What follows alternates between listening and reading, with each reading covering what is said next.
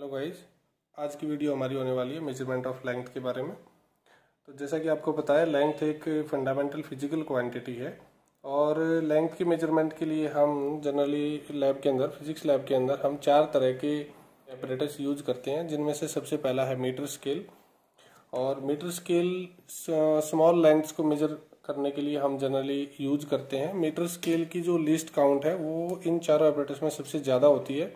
ये less accurate device है इन चारों में से।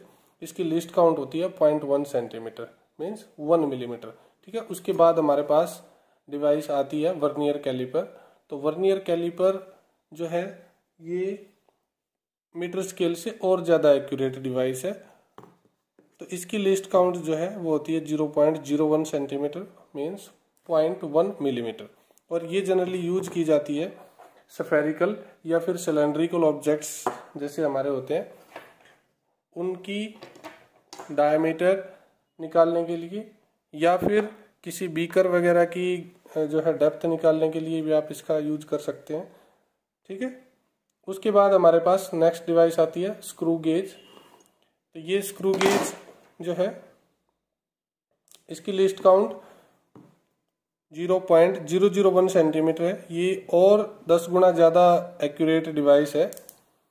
वर्नियर कैलिपर से, ठीक है? और इसको जनरली हम यूज़ करते हैं, जैसे हमें किसी वायर की अगर डायमीटर निकालनी है, इसकी मोटाई निकालनी है तो जनरली हम जो है स्क्रू गेज का यूज़ करते हैं। उसके बाद हमारे पास एक डिवाइस आती है सफेरोमीटर तो सफेरोमीटर जैसे किसी स्मॉल ग्लास स्ट्रिप की अगर हमें थिकनेस निकालनी है या किसी कर्ड सरफेस की, जैसे ये हम, मेरे पास एक मिरर है कन्वेक्स मिरर है। तो कन्वेक्स मिरर की अगर मुझे इसकी, जो कर्ड सरफेस की रेडियस अगर ज्ञात करनी है, अगर मुझे पता लगानी है तो मैं सफेरोमीटर का यूज़ करूँगा, ठीक है? और सफेरोमीटर की लिस्ट काउंट भी कितनी होती है?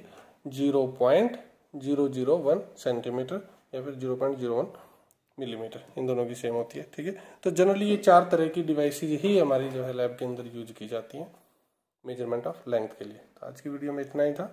नेक्स्ट वीडियो में हम इनकी लिस्ट काउंट कैसे निकालते हैं, सभी हेपरेटस की, उसके बारे में हम डिटेल से समझेंगे। Thank you have a nice day